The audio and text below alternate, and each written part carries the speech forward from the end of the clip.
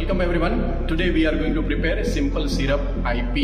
IP matlab Indian Pharmacopoeia standard. So in Indian Pharmacopoeia, uh, simple syrup IP contains 66.7 percentage of sucrose. It means that 67, 66.7 percentage uh, grams of sucrose plus remaining amount make up to 100 gram, matlab 33.3 grams of water. Right. So for that preparation we require uh, measuring cylinder one funnel to make filtration assembly glass rod spatula. We required one beaker. This is our muslin cloth. It is simple filtration cloth. Uh, simple paper uh, filter will not work here because it is going to get blocked. So we require muslin cloth here as the viscosity of syrup is very high. Then for the preparation of simple syrup we require sucrose 66.7 gram we require 33.3 grams of distilled water combinedly together it is going to make 100 gram of simple syrup ip after preparation of simple syrup we are going to fill into uh, dispensing bottle. This bottle is also called as a narrow mouth because it having the narrow mouth narrow mouth colorless dispensing bottle.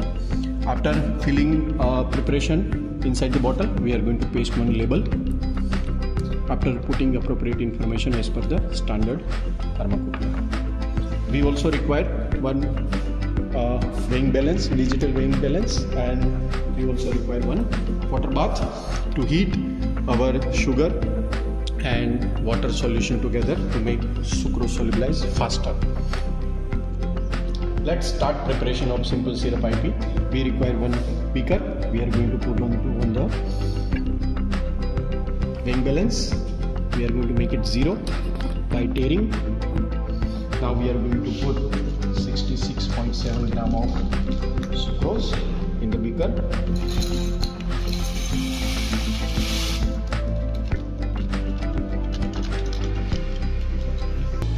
Now we are going to put uh, the remaining quantity of water which can mix up to the 100 gram. So we have to pay attention here now. We are going to put uh, uh, add the water up to 100 gram.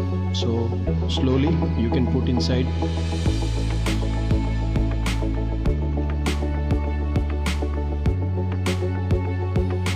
Now we are going to take this uh, sucrose and water mixture. Put it into water bath. And we are going to stir it slowly. Till the sucrose gets dissolved completely now you can see the sucrose is completely solubilized A little bit haziness which you can observe this is because of the air bubble entrapped during the uh, stirring using glass rod. Now we are going to filter this solution. For this we are going to take one measuring cylinder, and funnel we are going to place the muslin cloth over it appropriately. And now we are going to pour our solution into it slowly to get it out.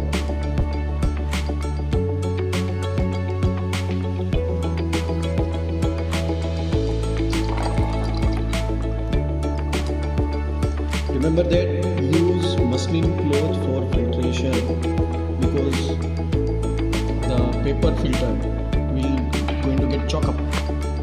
Now you can see we got approximately 75.1 ml of this syrup and the 75.1 ml of syrup is equal to 100 gram of syrup because the density of syrup is 1.3 so that's why we got the 75.1 is equal to 100 gram of syrup now we are going to remove this here and we are going to fill into our final container like this.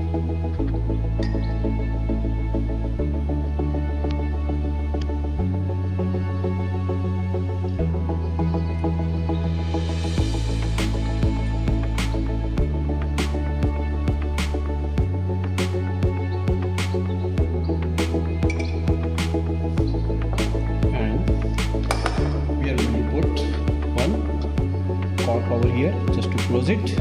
And now we are going to paste one label over here after putting appropriate information as per the standards. So this is our final formulation simple syrup. This simple syrup is used in various formulations as a pharmaceutical aid. It will also having the sweet taste so the drugs which having the obnoxious taste which can be minimized using the simple syrup in the formulation. It is also used as a vehicle in some of the formulations just like elixirs.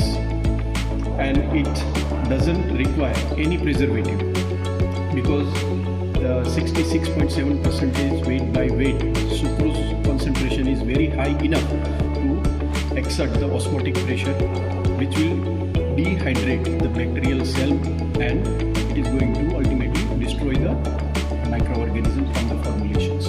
Apart from this, the water which is required for the simple syrup which is exactly that which can able to dissolve the sucrose 66.7 grams. So, so practically there is no excess water is available which can uh, which can facilitate the micro microorganism. And while hydrolyzing the sucrose, it can produce some fructose and which also having the antioxidant property. So some formulations, some drugs having oxidative nature. While preparing the formulation using the syrup, we no require the antioxidants too. That's all about the simple syrup IP. Thank you.